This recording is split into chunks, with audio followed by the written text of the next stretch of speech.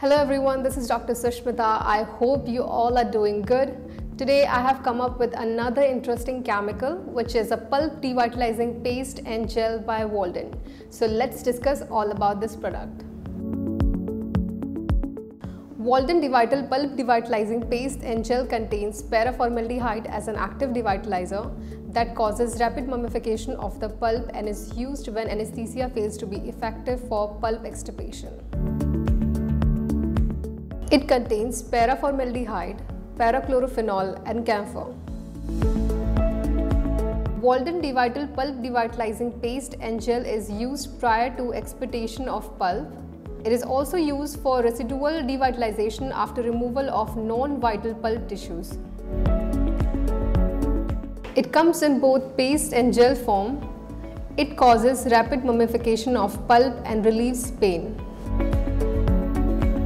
It should not be used routinely. A proper isolation should be done before using it as it is highly toxic. For the application of Waldent Devital Pulp Devitalizing Paste, take a small quantity of paste and place it inside the access cavity.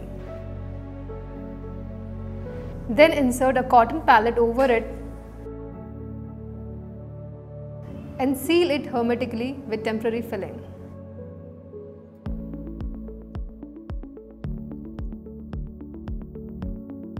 For Waldent Devital Pulp Devitalizing Gel application, attach the dispensing tip to the gel tube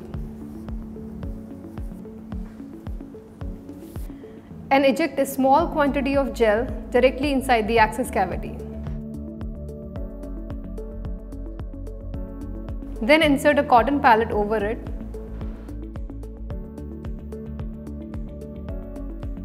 and seal it hermetically with temporary restoration.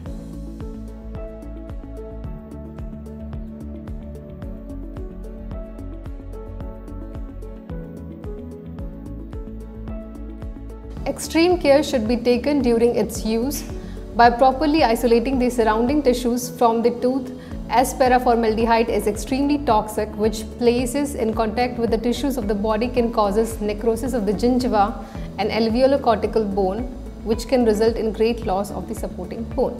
Thanks for watching and if you like the video then like, share and subscribe to our channel.